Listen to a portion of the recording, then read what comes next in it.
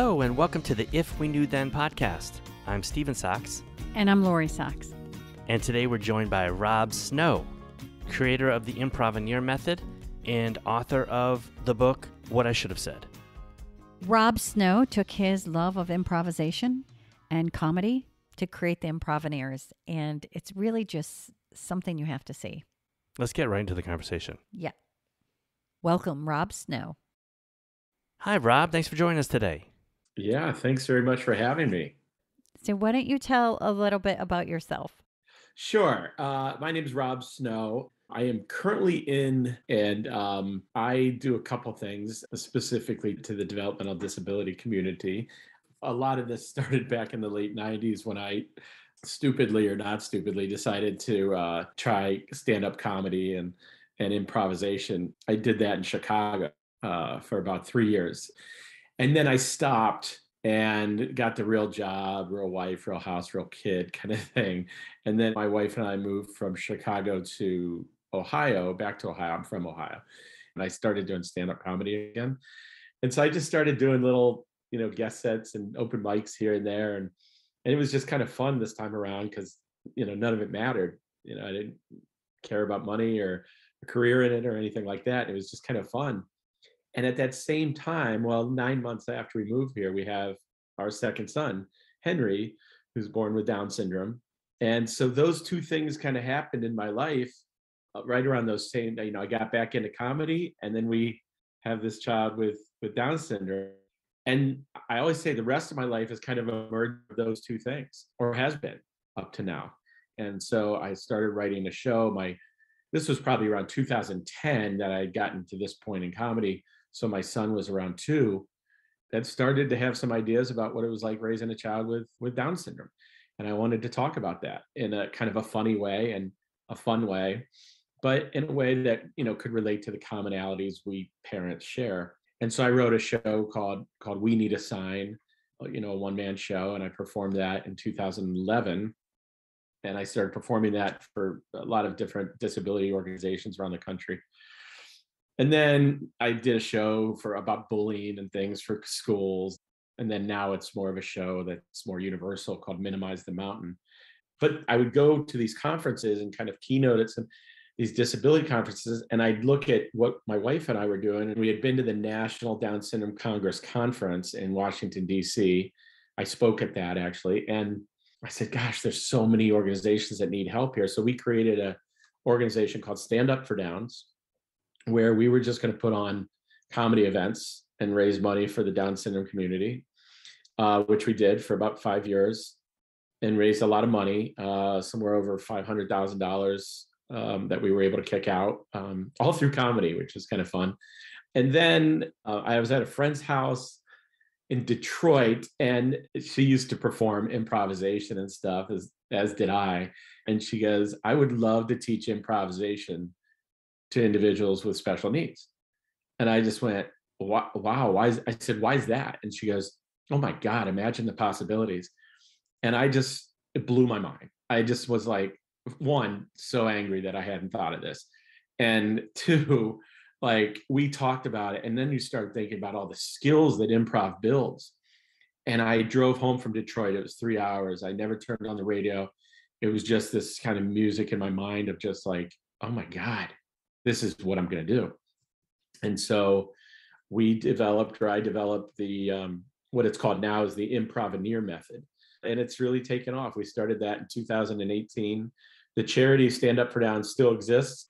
Half the money we raise, we kick out to organizations in the way that we had before, and then half the money is offered as kind of grants to help either organizations or individuals pay for Improvaneer method classes. So it's been really exciting. It's gotten a lot of media attention. Um, and uh, yeah, so that's what I do. I was able to listen a little bit to an interview that you did, and one thing that I've I found that was really beautiful about your story is that when your son was born, uh, first you were told that he didn't have any markers, and that was the same thing with Yeah. with Liam. They were like, "Well, no, there's really nothing here that shows it." Where our neurotypical daughter, they were like, "We think she has Down syndrome. Do you need to do something?" And so, yeah, it was am- amazing. But what I loved about your story, which I just wish for so many people, is that you had a pediatrician who was encouraging and Yeah. spoke words that everybody should hear, Yeah. and that she had a child with Down syndrome. unbelievable right like i said my first show was called we need a sign you know it's uh, if you're waiting for a sign this is it. And that was something i came around to believing. You just mentioned something that was interesting that i would probably put in my little sign bucket um your daughter who is neurotypical but what you were told. So you had this conversation you know you both probably had this conversation like what if we have a child with down syndrome? What do we do? What do we know about that like this whole thing. And it various emotions and things that go with that. And then she turned out not. And then your your next one, right, hmm did have Down syndrome. But that was like a sign. You know, we had this soft marker in an ultrasound. The doctor said that might be indicative of Down syndrome. And it was like a white spot on the heart and short femurs. And then the next ultrasound, the white spot was gone. And he goes, Oh, that was just a fluke, you know, kind of a thing. But I was like, we had the conversation, but the, the ultrasound really didn't show anything. It was just coincidence. And I think some of that happens, you know, in life. And I was a pretty, you know, kind of cynic. I was, you know, I'm a, comic and um and everything. My wife's kind of the devout Catholic. I'm the she calls me the heathen Protestant. But you know, for the you know, for my wife, it's like, oh, it's a sign and it's all that. And um and I wouldn't believe that stuff for a while. I'm like, it's a coincidence, it's just a crazy coincidence. And but they just kept happening and then i realized like there's there's two lines there's i don't even i don't believe in these things as signs or whatever you want to call them or i do and then you go oh in this line it means uh, you know you, you're on the right path that somebody might be helping you out and uh, all this is probably meant to be. That's a, and that's a more fun line to be in quite frankly because when you embrace that it's like it's terrific you know Well, I think about the conversation that you would have had about how, because I remember when when they said for my daughter, um, I I actually was 20 weeks pregnant, Mm, and yeah. and when this doctor sat across from me, and his words were, "So you need to think about uh, doing something."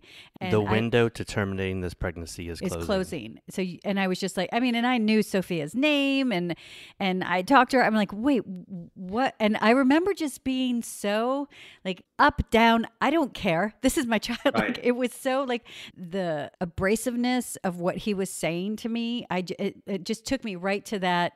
We're just moving forward. I'm I'm ignoring you, and I think that kind of attitude really served us because we got the same thing once Liam was diagnosed, and it just gave us a clarity. And I think there's something about that clarity that can really bring you above a lot of the turmoil that that kind of comment can resonate. yeah But I love that you you had a pediatrician that was like right off the bat that you you were welcomed by a doctor. I love that. Yeah. She walked into the hospital room and into our lives for the very first time. And we never we never met her. And this was after one doctor, I think the delivering doctor, you know, because I had made the comment in the delivery room. I, I said, we had a soft marker that said that he might have Down syndrome. Would we know that right now? And everyone kind of stopped. And everybody who was tending to my wife now went and tended to the baby. And um, they're poking and prodding for about 10 minutes. And my wife and I are like just holding hands nervously and and then that doctor came over and he said, "Okay, we're going to do some blood work, but he shows no physical traits common to someone with down syndrome. About 90% sure you're in the clear." And you know, and that's another one of those just phrasing, right? That phrasing that doctors like you're in the clear. You know, while that somewhat relieved us at the time, you know, knowing what I know now and as proud of the situation as we are now. It's like I, I would not want to hear that, you know, because you're it's immediately casting, you know, this negativity or this doubt, like you're in the clear. But anyway, we we would say we had somewhat of a gut feeling that that wasn't the case, even though he said that. And then she walked in, and this was two hours later. And she sat down and looked at Henry and then handed him back. And she said, Well, I'm about 80% sure your son has Down syndrome. And then, you know, you just feel like, you know, your heart goes to the pits of your stomach like it never had before. And, and then, but she immediately said, And that is awesome. And then she turned around her laptop and showed us pictures of her daughter who had Down syndrome. And it was like, I always say this in this show, Minimize the Mountain at that exact moment that the biggest mountain of my life had fallen on us or in front of us, it also started to minimize. You know, this is one of the pieces I talk about these these steps to minimizing your mountain. You know, and this is po- finding positivity, and, and and she's showing us these pictures, and then also, you know, probably didn't realize at the time, but somewhat subconsciously knowing that we had this doctor who now knew so much specifically it was a neat experience to be honest. But of course, I've heard every bad experience, you know, from every parent out there, and it's better. You know, it is. That's the positive. This is a good time to have a child with Down syndrome. You know, a really terrific time. And there's uh, trailblazers uh, before us. You know, whenever I, I see a, a child that's 20 or, or 40, I'm just like, oh, that is a parent that did something. You know, a had the kid kept the kid because that like you said you know you got handed pamphlets right here's abortion adoption institution back in those days. So it's better to the point that it's actually probably pretty good right now.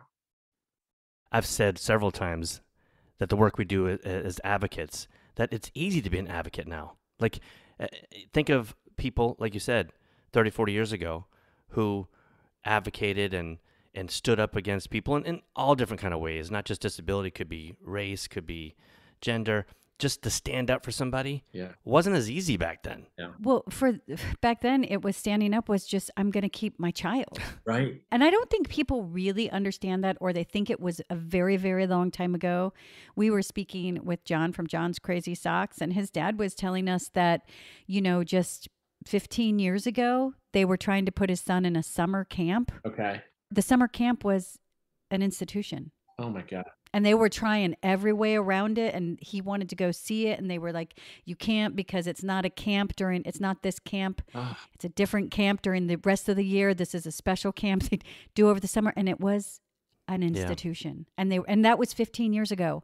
I think that's what we forget. And you know that doctor who said you're in the clear, like those were words that they used and they got away with. I, I feel like more parents are standing up, and like even in the medical community, there's so much more research and so much more conversation as to what words should be used and how we should approach this. And and it's really about having a value in our child's lives. Like they didn't even give certain heart surgeries until yeah and it was not that it wasn't long enough ago when we were denied because it was a life not seen as worthy. And i feel like you're right. I believe in the evolution and i believe that that is is going away.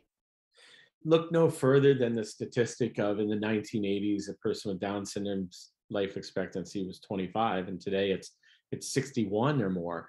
You know i'm no mathematician but uh you know maybe in 30 years they can live to be 100 i don't i don't know and i'm not that concerned you know it's it's like um like somebody just came in and handed us a pamphlet from the american journal of medicine and it talked about down syndrome and it was just awful. I mean it was just uh this impairment affects you know all these different conditions and it would say these different conditions and then it was like even um, on the healthier end of the spectrum people with down syndrome tend to die younger in their 50s and i always talk about that pamphlet in my show and I, I bring it up on the screen to show people and i and it's like well yeah it, that's that's medical and it's it was true but why couldn't we on the day of our son's birth be given another pamphlet that has has informed me now of all the amazing things? One that talked about the hugs and the smiles and the laughter and my god the dancing and you know like all these other things and t- tell me give me context around that shorter lifespan.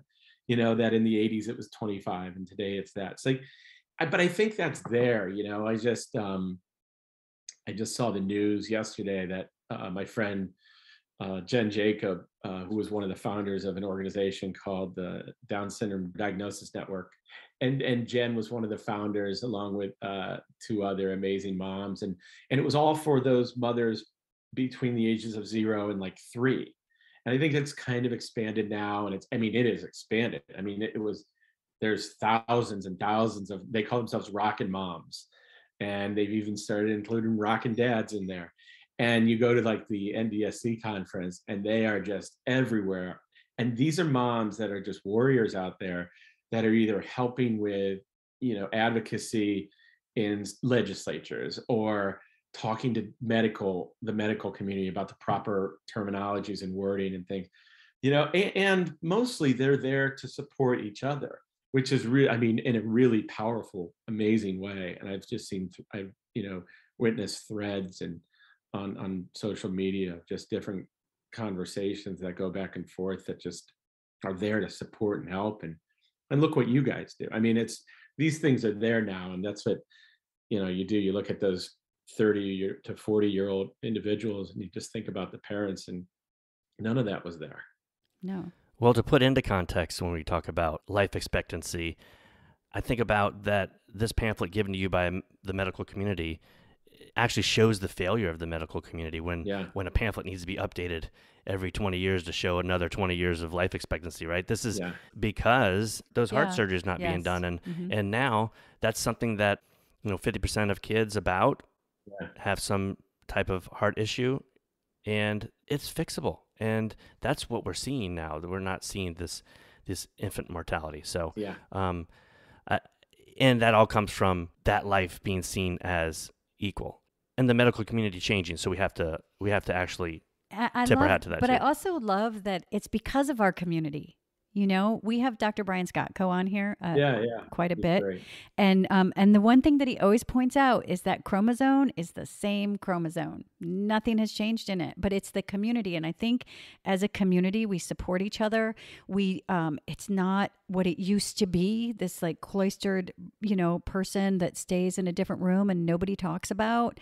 It is a celebration, and it's a life that that we see as equal. And so we support each other you know and then because of that we create change because we're supporting our children as well and and we're seeing all these breakthroughs and changes and well then you know it's from the inside and i don't think that the medical community really had a choice like they've they've Hmm. got to like step up and meet it now and also i believe that a lot of the the minds that started to come into the medical community may have been influenced by somebody with down syndrome or with disability like your and just pediatrician Yes, like your pediatrician, right? And I think that's the change and I think it's so so beautiful. And I do want to talk about your improvaneers. yeah It's fantastic. it is i've learned to just say it is fantastic. Yeah yeah, very much normally uh, i would i would think and i try to be a pretty humble person but i i say it like that like it is fantastic almost in disbelief sometimes myself of like like why wasn't this thought of somebody before? And I'm, I'm glad that i did it i'm glad you know but the proof of this thing i used to go around and and give presentations because the whole deal with this is the whole mission is using improvisation to build skills that will greatly increase social, workplace, and lifetime opportunities for those with developmental disabilities. I mean, we're talking about skills. There's there's 10 specific skills that we really try to focus on. You know, eye contact, voice projection, quick and creative thinking, um, adaptation to change, problem solving, teamwork, listening, character development, uh, and then a huge dose of uh, self confidence. And so, you know, you can build those skills in any human, they're going to perform better. More opportunities are going to open up to them. And so when I first started it, it was somewhere in like late 2017, and we did these classes at it was at a local Gigi's Playhouse. And we just kind of threw games at the individuals to see what stuck, you know, games that we remembered. And then, you know, I would be kind of researching games to do. It wasn't really a true thought process to it, just like, you know, can we do this? Will it work? And it was once a month. And I remember we had done this about five months in a row. And there was an individual, um, his name was Tony. And Tony had a dual diagnosis of Down syndrome and autism. And he, you know, would really only say like three words. It's like Tony, Tiger, and yeah. And but he was just the sweetest, you know, young man. And you know, I just loved having him in class and we would play all these games and he would he would participate um but he wasn't always real physical. And again, just really those three words. And so I got a call from like the site coordinator at that at that particular Gigi's Playhouse one day, and I was in the airport. I was in Charlotte Airport, I remember, and she goes, "Hey, I, I, you need to hear something." I was just at Tony's house. I walk up to the door. Tony answers the door. He gives me a huge hug, uh, which was not something Tony would ever do. He's wearing his stand up for down shirt. He's pointing to his certificate from the improv class and he's talking like crazy. He's like, Tony wants to be actor. Tony wants to go to Playhouse Square, be actor, work in theater. Tony wants to, you know, all of this. And the parents walk up and she was just like, what has gotten into Tony? And they were like, that class, he cannot stop talking about that class. It is like he just now has burst on, you know, with this energy and new words and all this. And I'm in an airport trying to find any corner that, that I could just kind of take this in and cry because I just had no, I was like, oh my God, it works. And that was like the first moment, you know. Uh, and then I said, what if we did this once a week? And then, so that's where we auditioned, um, you know, the Improvaneers. Uh, they became the first, we auditioned like 25 individuals. And um, we narrowed it down to 10 which was like the hardest thing in the world and uh, but they became the world's first all down syndrome improv troupe and then we just really studied that you know every week 90 minutes to, to two hours and we did that for about two about a year and a half and then they put on a really big show and then a lot of media attention but i would always talk about this show. I was you know during this time i'm going around to conferences and presenting the program not really fully understanding what it can do. You know just kind of starting to see you know we're surveying surveying the parents when we can and they're starting to tell us these anecdotal accounts of improvement and things like that. And so we're starting to get an idea of it. And i'm using words like oh this is game changing and groundbreaking and i'm kind of using those as a little bit of hyperbole you know just kind of hoping that's what it was and now i'll be in a presentation i just i mean those are kind of understatements now to me. So it's really been incredible. Yeah. Well, you can go to Groundlings or IO or UCB, and I would say a third of those people that are taking classes are not comedians or actors. They're people in the business world that just want to learn these things that you talk about. In fact, improv's introduced to corporations to just have their employees learn these skills. But to move it to our community is just brilliant. But like like i said it just makes so much sense. Like how was this not done before right? It just makes Yeah. total sense. Well, when our daughter, she um she had speech therapy and they wanted to do more speech therapy. And I was like I'm not going to put her in another speech therapy session. I'm just not going to do that to her. I'm and I decided we put her in improv because Yeah, it's like a kids' improv improvisation school it's a here, yeah. kids improv school and it was for those reasons. So studio laugh have, out loud Studio Laugh Out Loud. Mhm. They're just they're so beautiful people, such great people. But you know, it was for uh, confidence. It was to practice speech, to have to be in front. It was eye contact It was for eye. Con- It was for all the things that you say. That was the exact reason, and and it helped her in all those areas while she was overcoming her, you know, her her speech challenges. So I think it's. Go. You're going to say something. oh no i was saying Go ahead. and think of uh, when you think of tony think That's, of I was going to say, I had Tony written right there. It's like, how many therapies, how many things was he put into? And this is the, ch- this is what happens. And this is what we always speak to professionals and other individuals about our son whenever he goes into any situation. People probably saw Tony as three words and they were like, that's Tony. Yeah. Nobody pushed, nobody thought, nobody, nobody um, would assumed anything else. And because of that, that was Tony. And that I think that is such an important thing to remember is eventually we all become what we're told we are unless we decide to be something else or someone else sees something else and allows us to grow. Yeah. You know? And and that happens with our son all yeah, the time. our community is vulnerable to that i mean it, our our kids do need a lead you know and they need people to believe and assume Right. and actually do like this should be a part this should be a, a curriculum that's offered over the summer You know, this uh, in all seriousness, this should be a curriculum that your child can take because if you if you think about all the ways that they grow. It's interesting that you know you bring up that the the C word of curriculum. I got called from uh, Texas A&M University um, a few months ago, and they had heard about the program. And there's a school there called Aggies Achieve. It's for individuals with developmental disabilities. And these two individuals run it, and they have theater backgrounds and everything. So they're just like loving and going crazy over this program, and they're buying it and so that they can um, because that's the way that we sell it now and get it out there we license it and then we certify the trainers the directors and then we actually come out and do it live. So we start we do most of the training virtually and then the last two uh, days of training are live.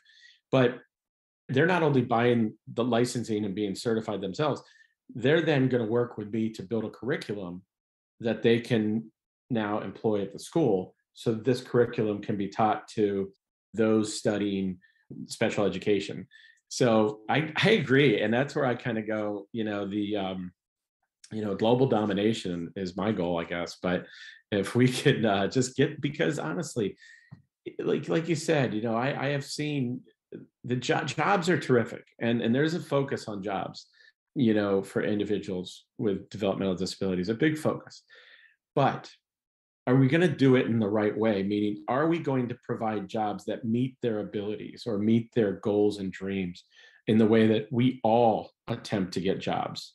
You know it doesn't always work that way but in, initially or at some point in people's lives they try to get jobs that meet their goal or dream at some point. You know that doesn't always happen but if somebody you know this is a good example um, my my right hand uh, guy is is nick doyle and Nick has become just a, an incredible friend of mine, kind of part of the family. But he uh, was one of our original improvaneers and um, really stepped up as as a true leader. And he's just an incredible, incredible story of he was working at a at a grocery store for 11 years when he started with the improvaneers and then he just started getting this sense of like what am i doing here and it wasn't you know, a bad job, but it was a bad job for Nick because Nick is the most outgoing individual you'd ever meet. He needs to be customer facing. And the grocery store had him in the back stocking and not even bagging. And if he was bagging, that would have been better because he would have really developed relationships with customers. So now, you know, he quit and then he he now's my he's my national sales executive. Uh, every conference we go to, Nick is the one working the booth and offers you know all of our promotional things and and but then he's an assistant director in the program. So he's on all of these classes whether they're online or live as a director. And then just last year he was named 20 under 40 in the county leadership program. It's like the first time ever at least in the state of ohio anybody with a developmental disability has been named to this group he's just tremendous. He's on two boards. But so I mean that's like a tale that you're talking about there. You know, if we can find a way to better achieve fulfilling individuals' abilities and dreams and goals, you know, and understanding what those are. But like you said, sometimes it's sometimes it's a pigeonholing of well, we're going to hire people with developmental disabilities, um, and they can they can stack or sort or you know do that over there, and it doesn't fit.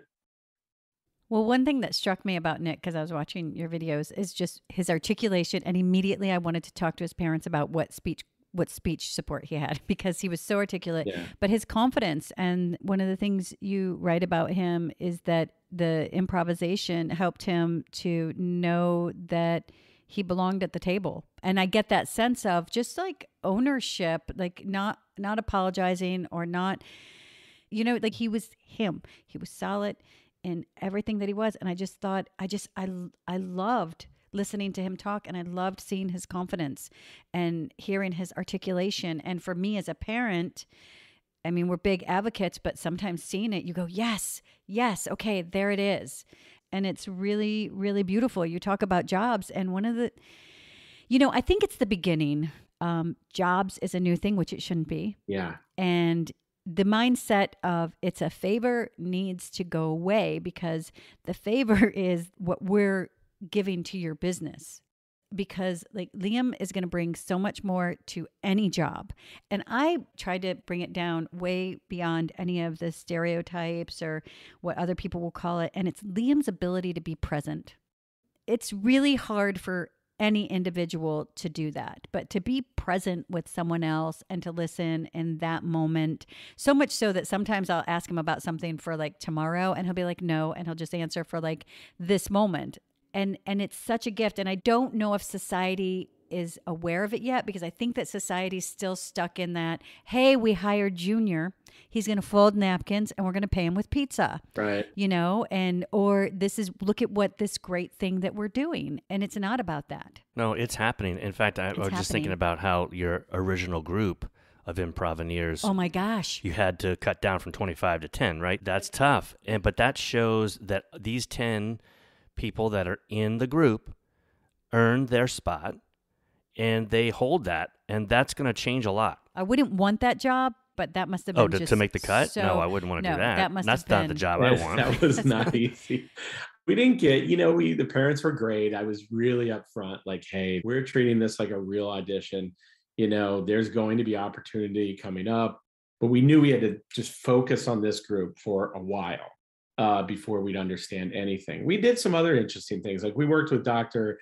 Dr. Anna Esbensen out of the uh, Children's Hospital of Cincinnati, and she's a really renowned behavioralist uh, just amazing in the particularly the Down syndrome community. She works at the Thomas Center for Down syndrome, really one of the just the top Down syndrome clinics in the country. So Anna came on board to really advise. She's kind of our um, kind of just an advisor to us, and she helped us create an evaluation methodology because I knew I'd have the anecdotes, right? I knew I'd have surveys and parent information, and th- those were really great because that was telling us what was happening when they left class and how it was affecting their lives, and that's really the the nuts and bolts. But from a quantitative analysis, I did want to kind of see what we could do there. So we created this evaluation sheet, which we conduct in the third class. So our, if you start taking our classes in order, um, in level one, there's four sessions. You know, first session is 10 classes, then the next session is 10. So there's 40 classes in a given year for level one. So in the third class, so just the very third class in, we pull out the sheet and we play games that equate to various skill sets. And then we'll measure them on a scale of one to five, one being they can't really do the skill, and five being they can completely do the skill. And then a year later, we measure them again and see if there's been some growth. You know, we've only had the one study because of COVID, um, which is the the 10 individuals who took that class, the 10 original improvaneers. Now we have the beginning of five studies. So in a year, we'll have roughly 50 more results. And it proved out, you know, I mean, we did, it literally proved out. People we were measuring at a, a one or a two were now threes and fours. And Nick was like a five to a five plus. Like he, he was a five or, or a four and almost everything. But you know, but even Nick, like his assertiveness grew, his confidence grew, his leadership ability grew. So it was really, really interesting. So we knew we wanted to do that. And I think that's a big, maybe a difference to the program that we're doing out there, because I, I applaud and love any program. You mentioned one that your daughter's taking that uses improvisation to, or even theater programs that gets individuals with deve- developmental disabilities on stage you know because there's so much expression and voice that we want we, we want to be able to get out of these individuals. But i think what ours does just a bit differently so far that i've seen is that evaluation methodology. We are more national in scope as opposed to like a regional theater trying to do this you know. I, I like to think that you know having the improv background from like second city and io like you said improv olympic and some places like that. And then also having a son you know so knowing the community as, as well as we do and the individuals as well as we do is really helpful to the program.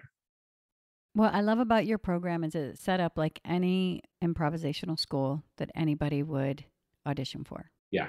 Yeah i remember when i went to second city and i was like kind of terrified and then you realize like oh they have what's called beginner classes like every program out there.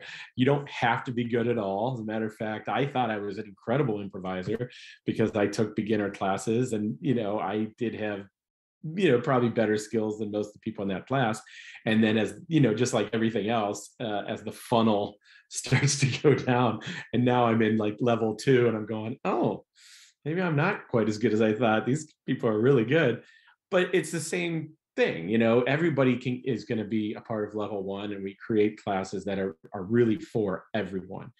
And then there is a, uh, uh, there is a talk with parents about level two. We haven't exactly made it an audition into level two but there is we do make a recommendation you know uh, again we haven't had the opportunity to do that much but we've had to have talks with parents to say you know i think they should stay kind of in this level one and just keep getting the experience and the reiteration of this. Because ultimately we do i mean th- these individuals the 10 they're performers. So we're getting asked to perform all over the place you know and, and there's a piece of me that's like that's the piece i struggle with a little bit because the reality is i'm out there trying to show what we built. And yes you are seeing our very best. And sometimes i struggle and go is that fair is that you know like you mentioned equality like is that fair because people are seeing it and going oh my gosh but the reality is as i try to look at it as a parent too i would want to see that because even if i looked at my child and I said, boy, they can't quite do those things yet, I would still look at these individuals and go, they could, mm-hmm. you know, they could look at these guys. So that's kind of where we're at with it.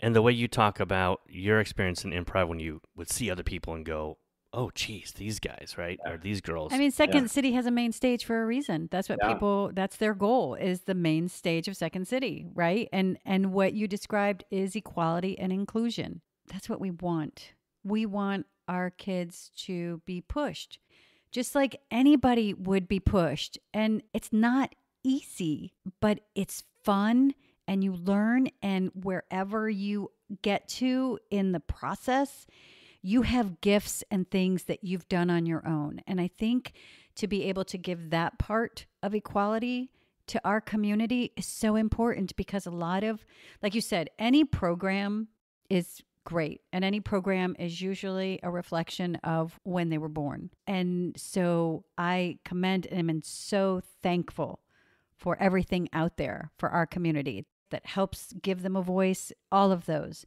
I loved your videos because one, what they bring as far as possibility to me as a parent to our community, to our children. And maybe not every program out there is, is inclusive and is offered to our community, right? Or it's offered in, hey guys, here's Johnny. And Johnny's not going to be challenged or looked at as equal or given the same opportunities or maybe given the same critiques. He's just going to be there. He's, there. He's not going to be pushed. Uh, and that yours does that. And these individuals in the Improvaneers were such brilliant. They were they were brilliant. The little clips that I saw, they were so funny and it was such a great show, but what I loved and think that just the world needs more of and to see more of is that audience went in there for one thing and they got something totally different and they the the the you changed what they thought down syndrome was the perception shift is really Yes, cool. because they got an idea of what maybe it really is. Yeah. Yeah. And I love that. Well, and you just you talk about this community and the community efforts.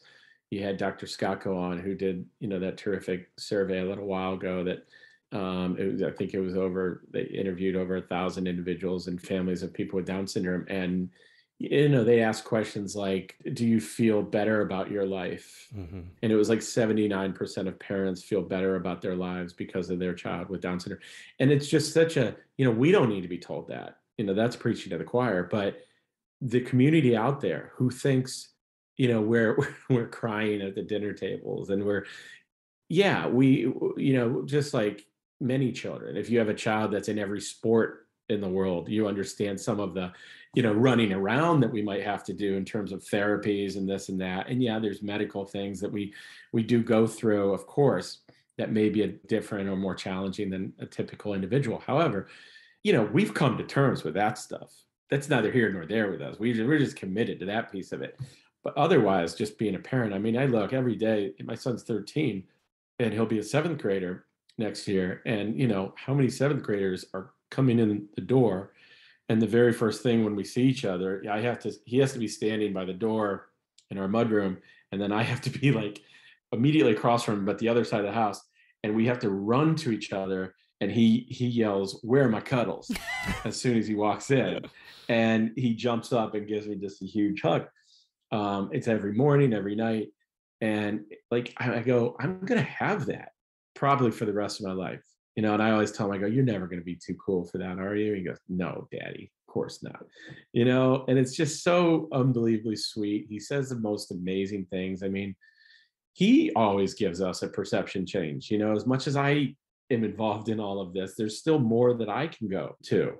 You know, some people will tell me, I don't even see Down syndrome in my child.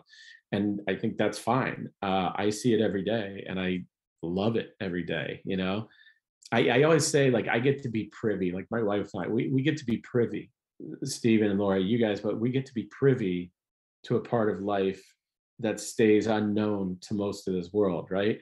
We're not sad about it. We're in the club we get to go behind the door and see something else that most people don't get to see that is really unique and special. So I think that's the best part of this whole thing. When you were just talking about the mudroom and the hugs, like you know, and and I think uh, honestly, for a while I fought that because it's part of a stereotype that the outside world puts a little pepper on it that makes it kind of a a cliche or a caricature or something. Yeah. I think because I don't think people can put their brains around one that we're all able to do that. Right. We are all able to walk into the door and look at any member of our family and say, "Where are our cuddles?" hmm Right. But we forget because life and life and the world and the challenges or our ego, our day's been hard. But we all have that ability to do that. And my son reminds me of that every day. This morning I had a conversation with a mom and she was trying to wake up her daughter and her daughter went in there with a trombone and was playing the trombone just like you know and she's like oh it's gonna daughter? be yeah to wake up the other daughter she was like "Ah, i'll get her up today my son walked out of his room and saw his sister and went over and gave her a kiss and I said i love you i miss you and I got to witness that. And it was one of those moments where I just sat on the sofa and I was like, this is my freaking life. And there's not in a million years could I have dreamed that it would be so beautiful. And one of the biggest parts of that is something that people fear so much with all their hearts. And I and I, you know, we know that like we didn't know anything about Down syndrome and we felt those feelings when they first told us because of the way they told us Mhm. because if if we didn't know anything and they would have said those beautiful words of this is awesome then that would have inferred but it was more you've got to come in Yeah. we've got to have a talk Right. I think of when you tell that mudroom story, that that moment that you feel that we know, you're showing the audience every show, or your group is showing the audience every show. Yeah, it's funny now though. You know, I've been with them through so many performances, and like we were just down in North Carolina doing a performance uh, at a at a big event for one of their Down syndrome associations, and uh, two of the mothers came. You know, because it's overnight, and you got you got to have drivers, you got to have chaperones, things like that. So uh, we got off stage, and you know, it's a standing ovation. There's like 400 people in the audience Mm. and it's a standing ovation. And I go up to the other mothers and I was like, what do you guys think? And they're like, well, I mean, there's some things we need to work on. and I go, I hear you. Cause I try to keep this, you know, bigger perspective of not just what I know that I saw, which was a B plus show. Okay. But we're expecting the AA plus. But what I know that the audience just saw, they didn't see a B plus show. They saw amazement either way. And I had to tell both moms that I go, you gotta look at this audience right now. They have no idea that, you know, she kind of messed up on the one game or she went too long while she was up there or he did this. They have no idea about that, you know. So it, it's all it's it's funny to me because it's gone that far. I mean, if you want inclusive, you know, and you now have directors and parents who are just putting as much pressure, like, got to have a good show.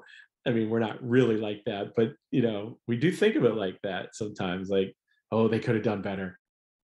Well, I think it's a real detriment sometimes to someone that they're, if they're just given something all the time. And that's what I find a lot of things that can happen with Liam, especially outside of school, is that things can be given like, oh, well, he did this, but let's let him do it, you know. And It kills me because it's usually other parents, you know, like if we're telling Henry he can't have something, you know, like he's gluten free, right? And then sometimes he'll try to get away with it with a waiter or, and he'll go, you can give me the full bun. And then we go, no, no. And like the waiter will obviously obey what we say. But if it's like another parent or something that they don't know, they go, oh, I can just give it. Like they'll interrupt. They'll see we're having this kind of back and forth. And then I'll, oh, no, it's fine. He can just keep playing the video game or whatever if he's at like somebody's house. Oh, no, it's fine. And I'm looking at the parent, I'm going, you know what I'm doing right now. Like, you know, I'm trying to create a lesson here. And I know you're going to say he can just keep playing. I don't want him to keep playing. But we need that discipline to to make changes, you know? I mean, we we need it and everyone does. So that's the way to really progress. That's why I feel like even now, but I'm thinking 20, 30 years ago, when kids weren't pushed in school and then they pay for it later as adults who aren't aren't employable and then almost blamed for not being employable when they were set up to fail. And that's what they use as well, that's Down syndrome. It's like, no, that's a school system that failed our children. Yeah, and so to see your program where you're pushed, you auditioned for certain levels, maybe, or at least for the main stage group, right? And to see that there's goals there that, that wow, if I work harder, I can get to that main stage group. And that's where you'll see these changes. And even when you now you'll have 50 of them where, you know, surveys in, in, a, in a year where you'll see this progress. you know, ultimately, it's not numbers on a board that I want to see. It's jobs on a board that I want to see. Ultimately, I want to see, you know, new and unique opportunities. You know, I look at my son, and I mean, he's he's into video games a lot, right? I mean, he's it's hard to keep him off the electronics. That's a that's a really big challenge of ours. But then there's times that you go, gosh, he he truly is learning so much you know off of the electronics you know? I mean it's it's it's that battle that where we see our kids too much on electronics but then we go yeah but they also really can't be behind the eight ball on the electronics game in the in the future either right? They that's the future. But what i still love seeing is he'll play this game fortnite he'll get out paper and he'll start drawing and writing other chapters or or creating what i guess what's called skins or something like that. I guess it's outfits or different characters in the game. And and he'll show us a notebook page after page with skins that he's created these names of characters that he's created and and written you know he's got decent handwriting and and drawings and it sometimes it looks like a you know like a detective's board where you, there's like strings going from different pieces. And i'm just like he needs to be hired by a video game company at some point. Game design. yeah he needs to be in game design. It's incredible but you know i love the i love the concept also of uh, you know assume competence and um, let's go beyond that. No Let, let's not just say assume competence. Let's say assume brilliance. How about that? Hmm Yeah. Yeah. you know assume creativity Yes. Let's just do that now. Let's just, we're, I'm changing my word from competence and ability. brilliance. assume brilliance yeah you know, because that's what we do for our kids. And I think about that a lot. Like, I have friends whose kids are on the video games all day. And they don't think twice. They literally just tell me it like it's nothing. But for some reason, if Liam's on his iPad, now Liam doesn't play video games. He loves movies. He memorizes movies. He loves to tell stories. He creates, like, I want to do a musical called, what, not Beauty and the Beast, but Beauty and the Werewolf. And I want to do a musical. He wanted to do a Paw Patrol musical. He was like, all of these, he sees musicals, he loves them, and he wants to write them. But for some reason, like, even though that's his passion, we get like in our head, that it should be different for our kids. And I think that there are certain things that we have to have in place, but allowing them to flourish is sometimes harder to do. yeah One thing that came to mind when I was first reading your story is this is just another example of, you know, we're given a diagnosis. I hope it's more your story than our story, but it's usually pretty heavy. And there's so many questions about what kind of impact will our will this child have on the siblings on on our life on our relationships on all of these things. This is another example. I know it in our life our son has made our life so much richer. They've he's changed me 100% for the better in so many ways. But look at what just the existence of your son has created in the world and has created in you and on such a bigger level, you are living that dream that you had before all of this. Yeah. And it's a bigger level, and the purpose and the dynamic and effect it has on the world is just, and it's not, it has on the world. It's not just what it has on our community, it has on the world.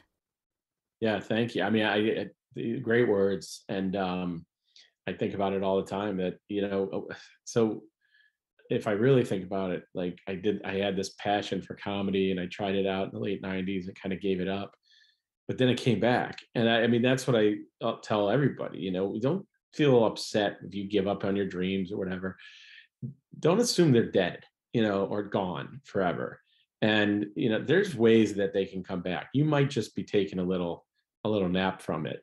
Uh, and they could come back in a very powerful and meaningful way. Um, do you want to say a little about your book? Yeah, the book is so simple. It's just you know I wrote it pretty quick. Um, it's it's it's a coffee table book or a bathroom book, whatever you want to call it. But what it was, it what it was more cathartic for me. Um, it's called What I Should Have Said, and it's really just you know it's a collection of things that were said to us uh, when we had our son. Uh, things that are said to people in the developmental disability community it's kind of split up into four sections. It's kind of like the well-intended, you know, but wrong.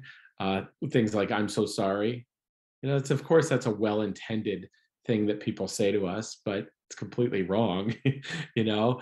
Uh, and then there's some there's a section of just the plain mean, like you know how uh, how disappointed were you when you had your child?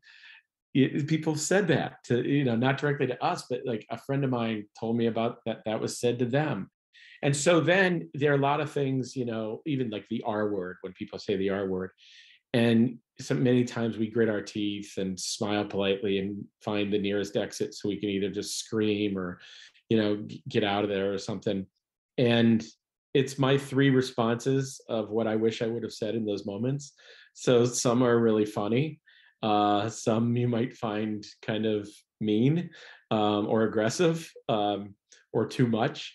But honestly, it kind of covers the gamut of what we've been thinking. And then there's, you know, fill in the blank on your responses. But hopefully that's what the book does. I get, I get, I hear from people from time to time and just they'll say, oh, that book, like I started filling in my own uh, comments and things like that. And uh, so maybe there's a volume two coming on this thing, but it's just it's fun and i think it's helpful to those of us in the community and um you know and really those outside of the community I think the truth is cathartic. Yeah. And I think a lot of times our energy is put in as parents rising above it. I'm glad I have this one next to me because he hears all my truth. yeah And I think and I think we you, you know as parents it's a balancing act. And you know we've we've spoke with Melissa Kinach just about that like pressure we put on ourselves to to be this certain Be thing because if because if we're not this certain thing then that's what people are going to call they're going to say oh they must be angry because of the down syndrome. I'm like no i'm just angry that you keep saying stupid stuff. Do you know? So it's so it's that um daily thing of rising above and and i know that other people's truth helps me to not judge myself so harshly. Sure. We have those thoughts we have those reactions in our heart that just you know yeah we're not going to say it out loud to them necessarily but those feelings are valid i was always told you have your feelings and then that's 100% human it's just you choose you choose what to say and how and how to to respond to them we're going to have links to the improvaneers uh, and on that website is the information I saw about online classes. And we're going to have links to Minimize the Mountain and Stand Up for Downs. that'd be great Thank you for this equally an inclusive improv class that you've brought to our community that does just what it does for it does what it does for every human improv does. You know, you're fi- you're finding the funny, which I think is really important in our community is to be able to find the funny and you're creating an opportunity and an expectation And so that sets a foundation going forward that, you know, more people create that foundation of opportunity and expectation. And I love it. It's what we need. Thank you so much. You guys have put out incredible information to people and um, brought on people that are also doing really cool things. So don't underestimate your part in all this as well. So thank you.